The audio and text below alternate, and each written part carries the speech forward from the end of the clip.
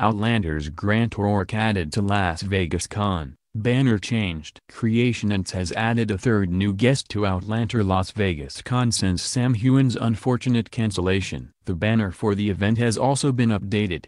While Sam Heughan may not be at Outlander Las Vegas Con, there are plenty of actors to get excited about. For the first time since Prestonpans, we'll get to see Rupert and Angus together again, as Grant O'Rourke has now been added as a guest. Stephen Walters was already confirmed as the Master of Ceremonies. O'Rourke will appear on Saturday and Sunday for the event. This includes on the stage, at the autographing table, and for photo ops. Those who have bought the gold and silver packages will be able to get O'Rourke's autograph for free, as well as adding the latest guest to make up for Heughan's unfortunate cancellation due to press for A Spy Who Dumped Me and filming for Bloodshot. Creationance has updated the banner. It is now just a photo of Claire Fraser, during her time in the 1960s in Scotland. She stands at Lallybroch, possibly wishing like the rest of us that Heughan could still make it to the event. The original banner was of both Claire and Jamie, standing on either side of the stones, which was the press image used for Outlander Season 3. It has been updated to reflect that only one of the co-stars is making it to the weekend. So far, there have been no other cancellations. Creationance is still looking to add more guests,